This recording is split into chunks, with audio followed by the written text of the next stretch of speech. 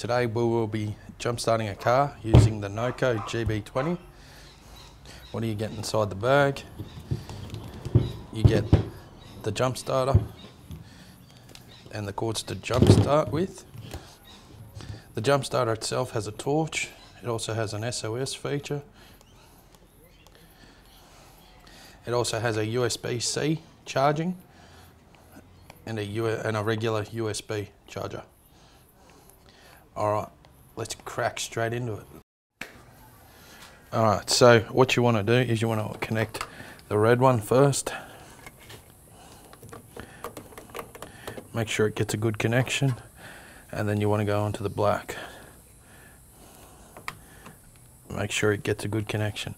Then you want to press the power button, and then when it starts, when the lights start to chase, that means the car's ready to jump start.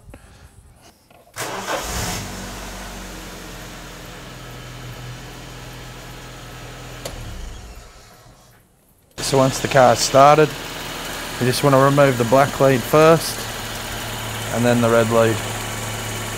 And then you can turn it off. We are, we are dreaming in the dark We are nothing more than dust Search but you stay lost We are